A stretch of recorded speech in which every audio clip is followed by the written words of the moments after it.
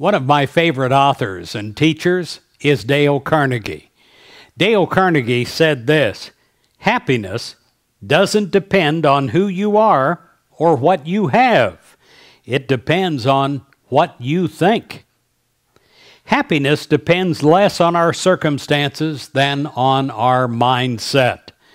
When we turn our thoughts to things positive, when we thank God for God's gifts and revel in God's glorious creations, we're going to reap the rewards of those positive meditations. In Psalms 146, verse 5, it says, Happy is the one whose hope is in the Lord. And I pray that your hope is in the Lord.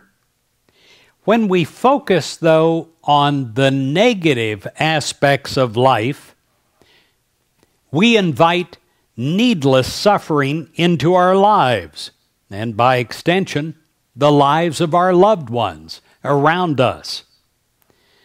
The Roman poet said this You transverse the world in search for happiness which is within the reach of every man. A contented mind confers it on all. And I pray that your mind is a contented mind that will confer it upon you and upon all around you. Happiness is to a surprising extent up to us not on the environment or the situations around us. Here are two facts worth considering. God wants you to know true joy, but you must accept the joy that God offers.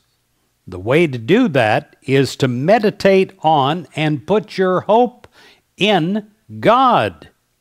So, today, know true joy by accepting it and know that when you meditate on the hope of God, it will take your mind off, turn it in the opposite direction from all the negative aspects of living.